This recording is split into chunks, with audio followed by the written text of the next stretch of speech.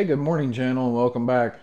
Wanted to do a quick video to show you the solution I came up with for my wireless iPhone charger and Apple CarPlay connection issue that we've been talking about the last few videos. So let's dive in real quick.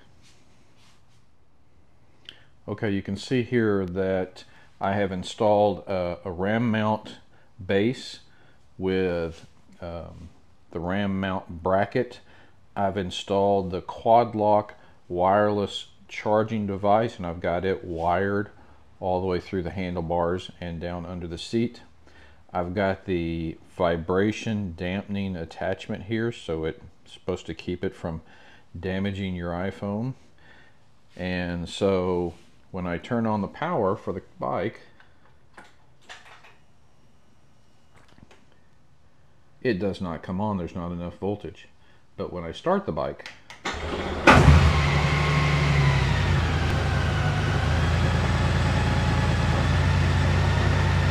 it turns on.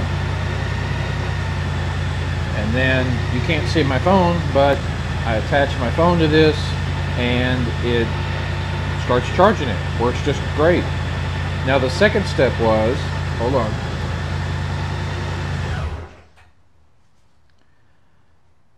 So that all works good. Um, the second step was how, if my phone's on this thing charging, and hold on, I got to do this to actually turn it off. Turn the power back on, it pulls the voltage down, and it should turn that off. Yep. And then I turn everything off. Uh, and someone commented, and it does work, that if I was to I was to kill the bike with the kill switch up here instead of the knob, um, that it leaves the lights on and will turn that off. It drains the power in the same way. So either way.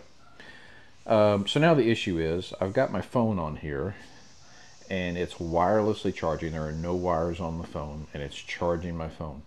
But I also want to use my Apple CarPlay. So here's what I did for that. I purchased the Carlin kit off Amazon. 2Air wireless USB adapter. And it seems to be working well. Grab my helmet.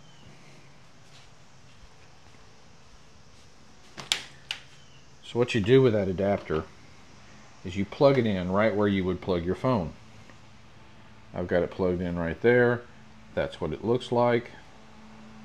It's pretty thin, it's pretty small. You can see, you know, roughly four fingers across. That's how big it is and it just fits right in this compartment. And then so the first thing I do is I turn on my headset communication device because the headset connected to the bike is a requirement before Apple CarPlay will work. Alright so it's connecting. So then I turn this on. And of course it's going to work whether I have it mounted on here or I'm just holding the phone because I'm videoing this all on my iPhone. And so this is the startup sequence. And then this pops up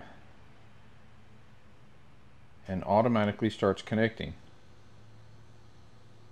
And there you go. Apple CarPlay up and running. Seamless. I don't have to push any extra buttons. My phone can be on this charger. It acts the same way. And there we go. I think it's a good solution.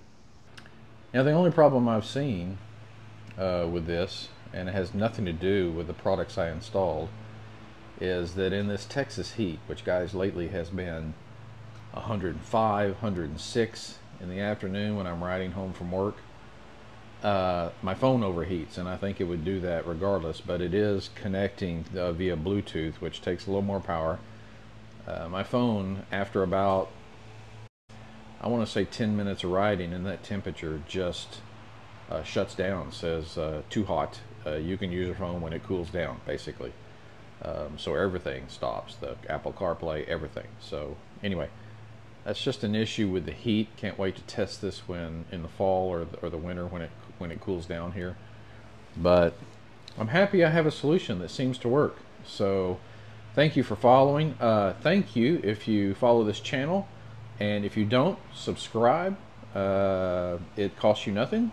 And uh, leave a comment. Love to talk to you guys. Thank you if you've left a comment before.